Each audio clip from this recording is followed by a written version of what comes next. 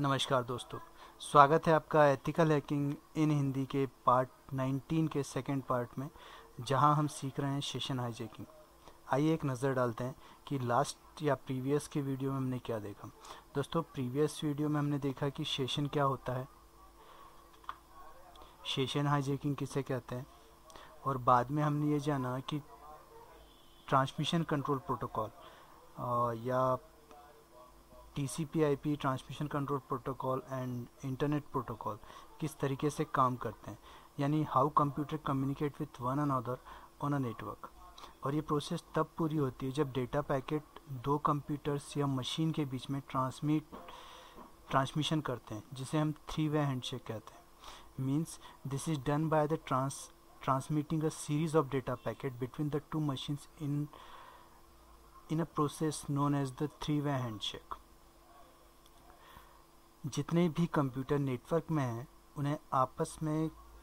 Connect होने के लिए या कम्युनिकेशन करने के लिए इस प्रोसेस को पूरा करना होता है। आप चाहें तो सिन सिनेक और एक्नॉलेजमेंट की जो प्रोसेस होती है, इसे आप स्निफिंग टूल के ज़रिए भी देख सकते हैं, जो हमने स्निफिंग के वीडियो में पहले देखा हुआ था। और हमने आगे देखा था कि एक्चुअली सेशन हाईजेकिंग कितने टाइप्स के होते हैं और ये किस तरीके से वर्क करते हैं, इसमें हमने जाना था कि सेशन हाईजेकिंग को हम दो हिस्सों में डिवाइड करते हैं, एक एक्टिव और एक पेसिव एक्टिव क्या होता है पेसिव क्या होता है, इस बारे में डिटेल्स ली थी कि एक्टिव जो ऑलरेडी ऑथेंटिकेशन होता है, उसमें इन्वॉल्व होता है। मतलब जो सेशन पहले से ही इस्टेब्लिश हो चुका होता है, उस सेशन में हम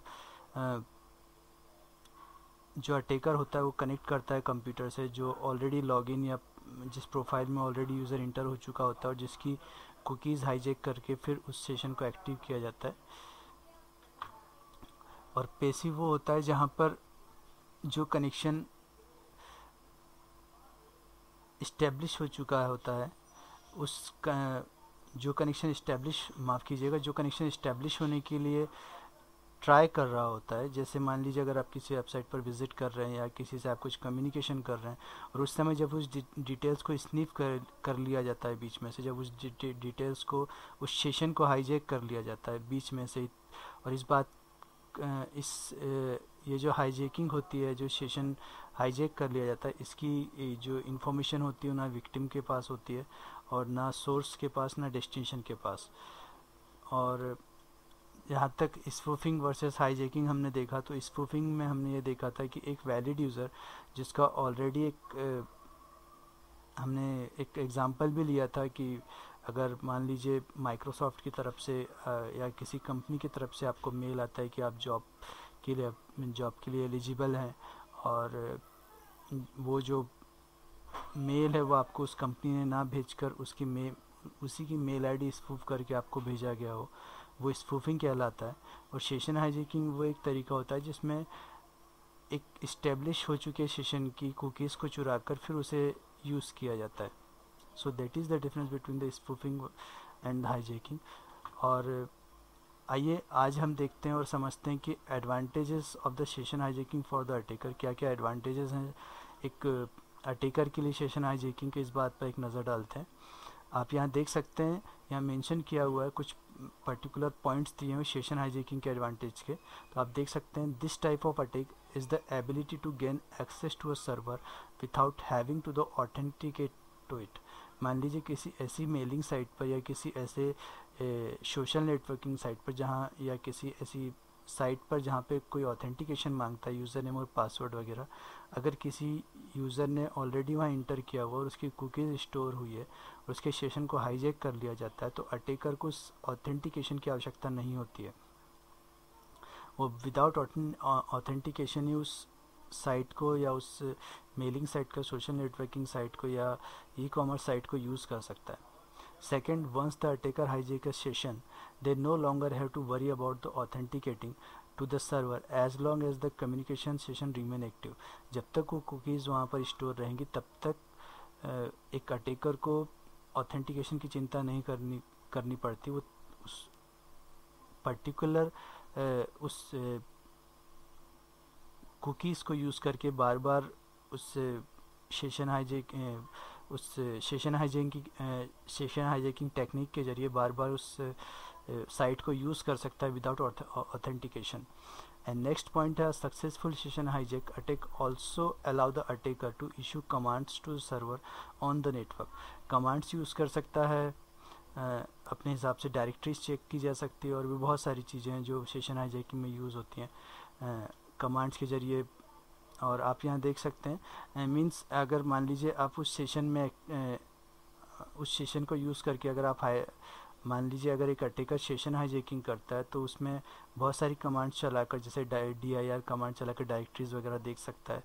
और और भी बहुत सारी कमांड्स यूज़ कर सकता है जो बहुत हम आगे देखेंगे कि क्या क्या डिसएडवांटेजेस हो सकते हैं किसी विक्टिम के लिए अगर उसका कंप्यूटर सेशन हाईजेकिंग का आ, आ, अगर वो पर्टिकुलर कंप्यूटर सेशन हाईजेकिंग का विक्टिम बनता है तो नेक्स्ट पॉइंट है session hijacking is also very easy to do specially on older operating systems तो ध्यान रखें इस बात का बार बार ये रिपीट किया जाता है कि अगर किसी भी अटैक से आपको अपने आप को सेफ़ रखना है तो बेहतर होगा कि अपने कंप्यूटर में अपने ऑपरेटिंग सिस्टम का सिस्टम का एक तो सबसे पहला नया वर्ज़न यूज़ करें, न्यूअर वर्ज़न यूज़ करें। सेकंड, अपडेशन ऑन होने दें। अपडेशन बहुत इंपॉर्टेंट होता है। अपडेशन आपके जो भी ओएस होता है, उस ओएस को सारी वो कोडिंग और वो जो भी सिक्योरिटीज़ होती है वो प्रोवाइड करता है अटैकर्स के थ्रू। तो इस बात का ध्यान रखें कि सेशन हाईजेकिंग बड़े इजीली इजीली अप्लाई हो जाता है ओल्डर ऑपरेटिंग सिस्टम पर जैसे मान लीजिए आप टू थाउज़ेंड एक्सपी और एक्सपी की बात करें, इस तरीके के जो पुराने वर्जन हैं, इन पर बहुत ज़्यादा जल्दी वो हो जाता है यहाँ पे एक नेक्स्ट पॉइंट यह थी कि how the session hijack attack does not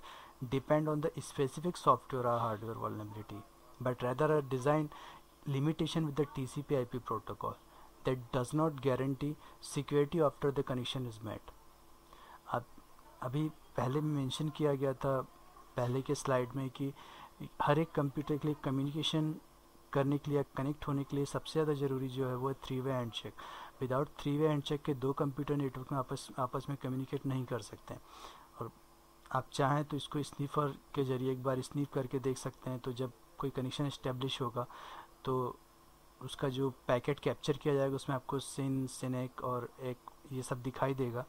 तो एक्चुअली किसी हार्डवेयर की वलनेबिलिटी या किसी सॉफ्टवेयर की वलनेबिलिटी की वजह से नहीं होता। टी सी प्रोटोकॉल की जो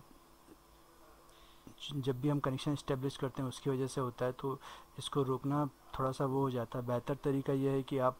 नए नए ओएस यूज़ करें ताकि जितने ओएस हैं नए जो ओ एस आए, उनमें सारी वलनेबिलिटीज़ को दूर किया गया है। आइए जानते हैं advantage of the session hijacking for the attackers आप एक अटेकर क्या कर सकता है जब अगर वो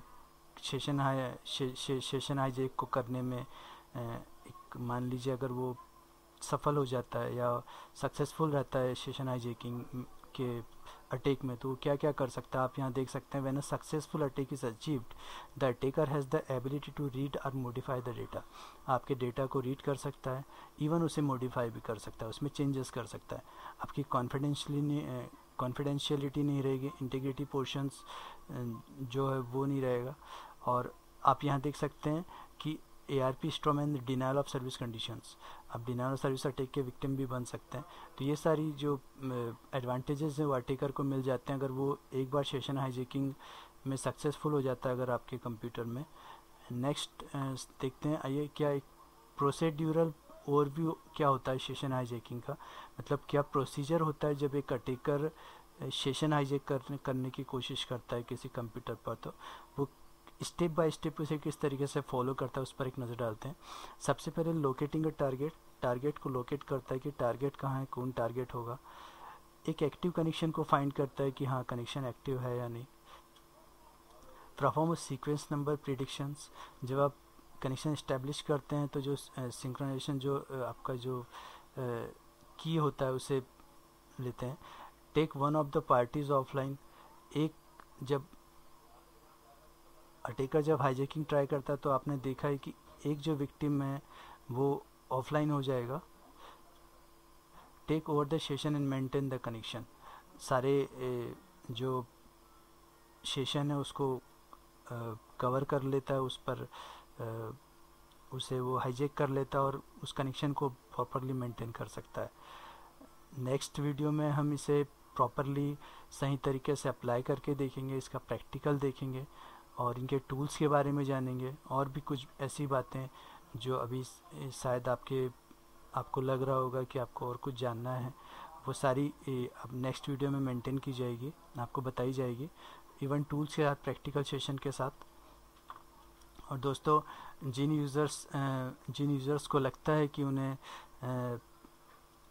एथिकल हैकिंग में अपना करियर बनाना है, वो डिस्टेंस लर्निंग किट को ऑर्डर कर सकते हैं। डिस्टेंस लर्निंग किट एक्चुअली इस हिसाब से डिज़ाइन की गई है कि जो बहुत बड़ी फ़ीस को मेंटेन नहीं कर सकते हैं और बाहर से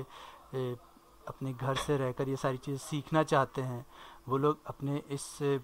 अपने इस डिस्टेंस लर्निंग किट के ज़रिए सब कुछ